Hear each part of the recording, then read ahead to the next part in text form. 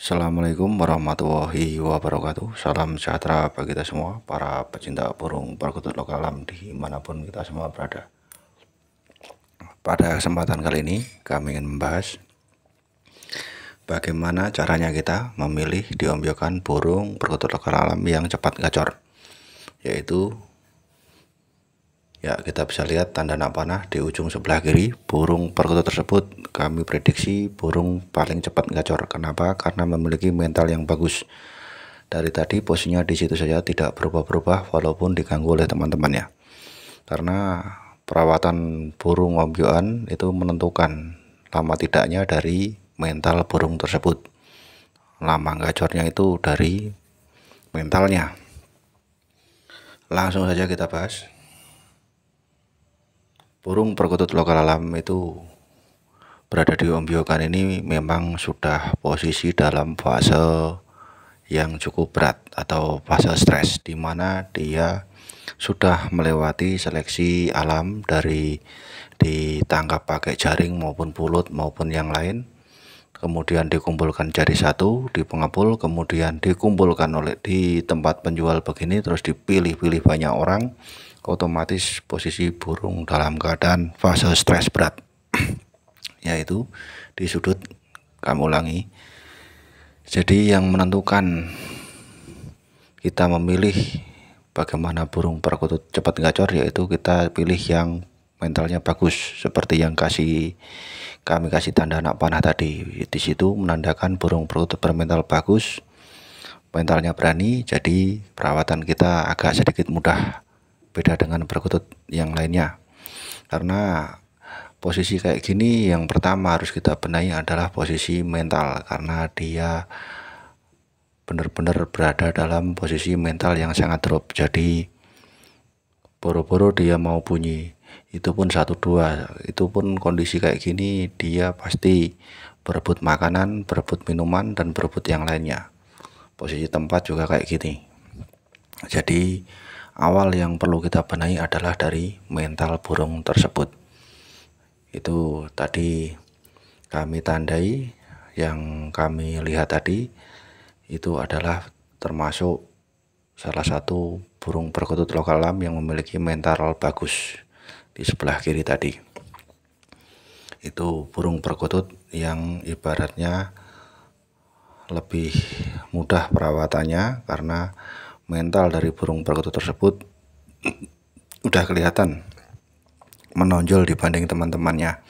Dari situ kalau kita lihat saat diombiokan itu kalau lihat burungnya tenang burungnya gelabak burungnya sehat burungnya posturnya bagus itu menandakan kemungkinan besar burung itu mentalnya bagus. Ambil saja bisa pisahkan pilih ya ini burungnya ini yang sebelah kanan tadi kami kasih tanda anak panah. Ini agak kami lambatkan. Ini burungnya tadi.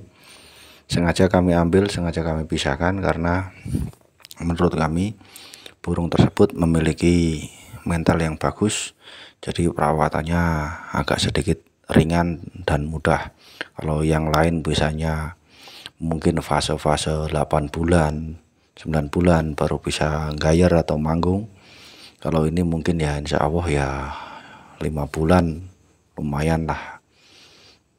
Beda tiga bulan burung ini sudah memiliki ya minimal suara duduknya atau nututnya udah mau keluar. Walaupun masih malu-malu setidaknya proses serawatannya sedikit ringan. Yang penting rajin kita mandikan setiap sore jam 4 sore. Setelah habis asar setelah itu kita angin-anginkan baru kalau sudah agak kering baru kita masukkan ke dalam rumah kita. Jangan lupa besok paginya kita embunkan setengah enam kita keluarkan biar dia menghirup udara pagi embun pagi. Terus apa namanya dia posisinya kita jemur. Terus kita sambil kita tungguin nah, perawatan itu. Terus kita kasih vitamin yang bagus kita ibaratnya sering kita pegang lus-lus burung itu biar ibaratnya mengerti bahwa dia dipelihara dengan baik. Ini tadi sebelah kanan tadi burungnya dipelihara dengan baik dirawat dengan baik supaya dia mengeluarkan anggungan yang cukup bagus dan positif. Ya ini di kami tandai lagi ini burungnya tadi yang di dalam udah kita pisahkan. Ya ini suatu keberuntungan buat kami. Waktu ngombiok kayak gini kita bisa lihat kadang bingung kalau sudah posisinya banyak begini. Tapi saran kami kalau kita berada di ombiokan fokus di satu titik burung perkutut tersebut. Mana yang paling tenang posturnya bagus urusnya bagus semuanya mantap tinggal kita perhatikan fokus satu titik kita ambil. Nah itu salah satu ciri burung perkutut lokal alam yang ibaratnya mudah perawatannya mudah gacor karena memiliki mental yang cukup bagus. Karena sebagus apa pun burung perkutut lokal alam yang berada di ombiokan tapi kalau enggak contohnya fisiknya bagus posturnya bagus bola matanya cerah paruhnya bagus. Tapi kita kembalikan lagi kalau memiliki mental yang kurang itu juga kita agak berat agak lama. Butuh proses waktu yang cukup lama kalau kita mau ibaratnya merawat dari yang ombyoan begini jadi agak sedikit berat posisinya. Jadi pinter-pinter kita merawat atau memilih diombiokan itu burung perkutut lokal alam yang memiliki mental yang bagus. Karena dasar dari semua burung perkutut lokal alam itu adalah mental. Apalagi kita belinya diombiokan yang notabene harganya miring.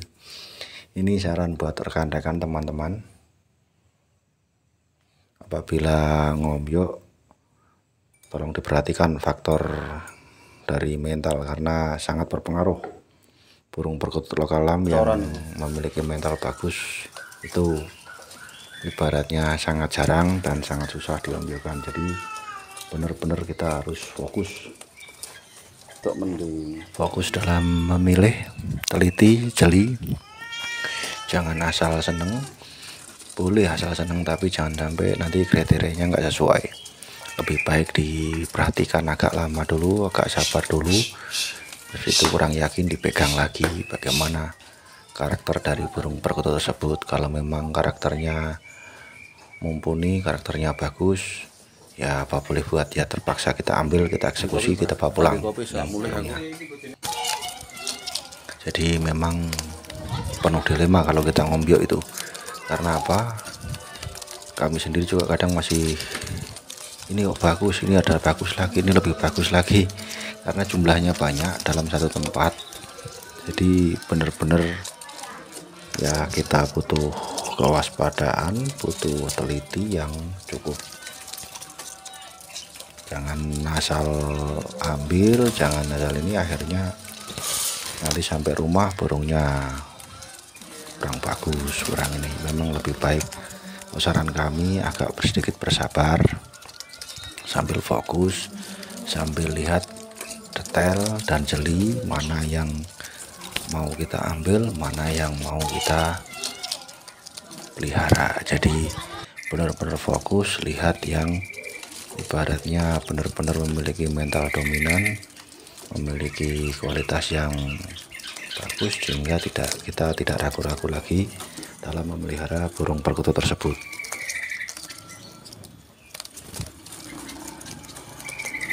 intinya yaitu tadi. Kalau kita berburu perkutut dalam jumlah banyak begini utamakan yang kita fokus atau kita ambil itu yang memiliki mental bagus di mana cirinya dia tenang di satu titik tidak gelabah ke sana kemari. Dia ibaratnya walaupun diganggu temannya tetap tenang posisinya tidak tidak goyah lah itu dari situ. Terus kita lihat juga posturnya. Kita cek di tulang sumpitnya jantan betinanya kita pastikan lagi. Baru kita ambil kita bawa pulang kalau memang cocok.